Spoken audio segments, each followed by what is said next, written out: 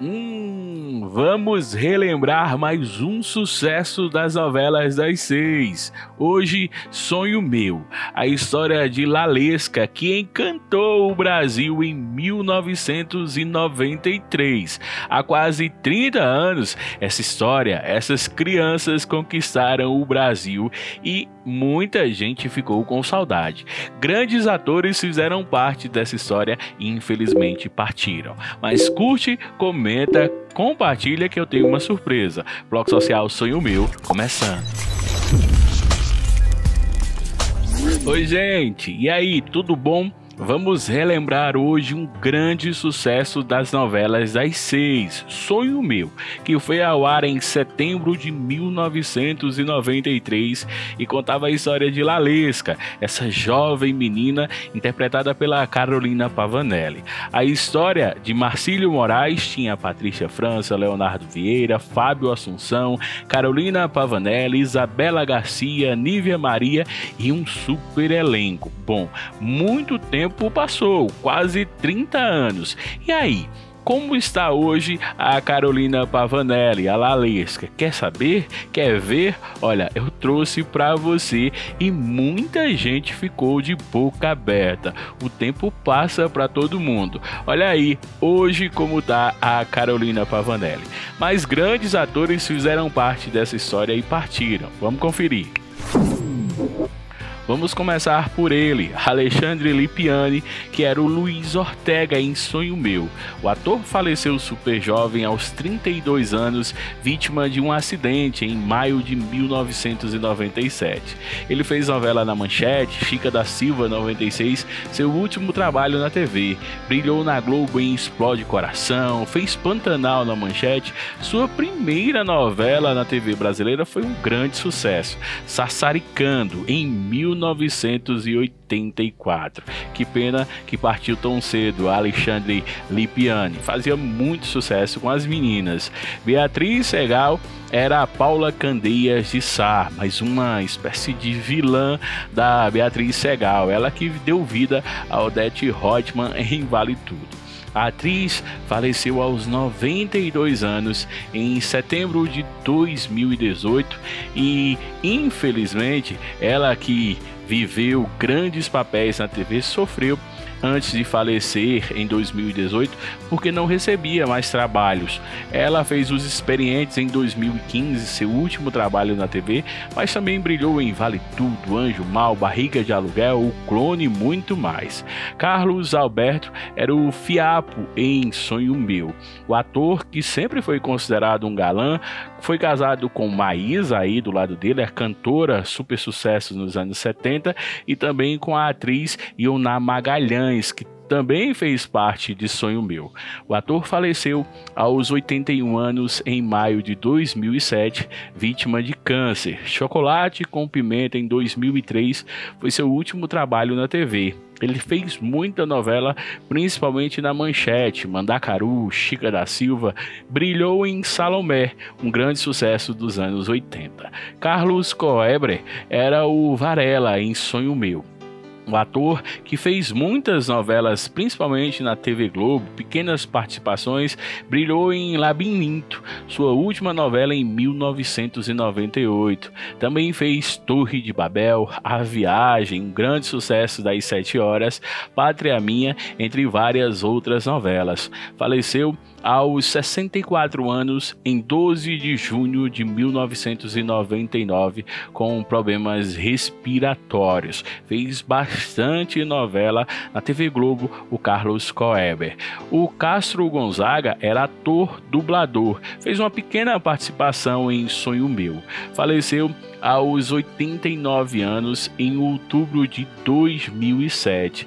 Ele brilhou dando sua voz a vários filmes. O Profeta foi seu último trabalho em 2005 na Globo. Ele fez Cobras e Largatos, fez Bang Bang, Kubanacan e sempre foi considerado um dos melhores, mais experientes atores brasileiros. Quanta saudade! O Castro Gonzaga tinha realmente uma voz inesquecível. Cláudia Magno era Josefina em Sonho Meu Essa foi a última novela da atriz, que infelizmente faleceu super jovem em 6 de janeiro de 1994, aos 35 anos, vítima da AIDS. Ela também participou de novelas como Felicidade, Mico Preto, Tieta, Fera Radical, foi uma espécie de vilã, ela que contracenou com grandes atores e atrizes brasileiras e até hoje deixa muita saudade em muitos fãs. Cláudia Magno fez muita falta. Elias Glazer era o tio Zé. Na verdade, ele foi um tiozão em várias novelas brasileiras. O ator brilhou em Boogie Woogie, seu último trabalho em 2014, mas ele fez mais de 50 novelas na TV brasileira. Flor do Caribe, Tieta, Passione, Sim a Moça, foram muitos trabalhos. O ator faleceu aos 81 anos em maio de 2015. Bom, Nessa novela Sonho Meu, o tio Zé era um grande personagem que amava a sua sobrinha netinha Lalesca. Jorge Xerxes era o Boris em Sonho Meu. O ator faleceu aos 82 anos em março de 2021. Seu último trabalho foi humorístico, em Zorra Total, 2007-2008. Ele também brilhou na novela Alma Gêmea, fez a série Chiquinha Gonzaga, brilhou em Por Amor e desde a década de 1960, 70, 80 fez várias participações na TV Globo grande ator, experiente ator, admirado por muita gente do meio.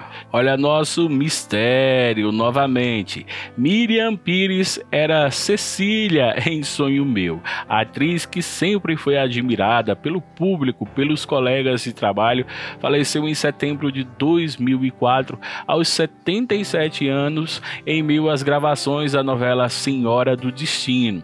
Ela brilhou em Tieta, como eu disse, lembra do bordão, mistério. Ela também fez Kubanacan, Mulheres Apaixonadas, sempre foi considerada uma das mais experientes e competentes atrizes brasileiras. Essa tem uma história longa e realmente deixa saudade. Newton Martins era o mercadoria em Sonho Meu. O ator faleceu aos 75 anos em maio de 2011. Ele também fez Barriga de Aluguel, A Máfia no Brasil, brilhou em Os Astros e várias outras novelas. Ele fez novela na Globo, no SBT e na Record. Grande Newton Martins, grande ator. Tem mais, tem Rutineia de Moraes, que era Alcineia em Sonho Meu. Essa foi a última novela da atriz que brilhou em várias, muitas novelas na Tupi, na Excelsior. A atriz faleceu aos 68 anos em julho de 98, mesmo ano que ela fez Fascinação no SBT. Também brilhou em Malu Mulher, Cara a Cara, Éramos Seis na gravação dos anos 1970. Sempre foi considerada uma das melhores atrizes brasileiras. Para mim, poderia ter vivido um pouquinho mais e brilhado muito mais. Valmor Chagas era o Dr. Afrânio em Sonho Meu. Galã dos anos 60, 70, por que não 80, faleceu aos 82 anos em janeiro de 2013, quando se suicidou-se. Os Mutantes de 2009 foi sua última novela na TV, mas ele também fez A Favorita, Pé na Jaca, Selva de Pedra, grande sucesso de 1985. Vale lembrar que Valmor tem uma extensa história no cinema, no teatro e nas telenovelas brasileiras, um dos maiores de todos. Ioná Magalhães era Magnólia. Ela contracenou nessa novela com Carlos Alberto, seu ex-marido. A atriz faleceu aos 80 anos em outubro de 2015. Sangue Bom 2013 foi sua última novela na TV brasileira. Ela também brilhou em Tapas e Beijos, Paraíso Tropical e era a madrasta da Tieta, na novela Tieta, sucesso de 1989. Ela também era dona da Casa da Luz Vermelha em Roque Santeiro. Tá lembrado? Pois é, Ioná deixa muita saudade. E aí, qual a próxima novela das seis que você quer que eu relembre aqui no Bloco Social? Curte, comenta, compartilha, segue a gente nas redes sociais, arroba Bloco Social. Um beijão. Tchau, tchau.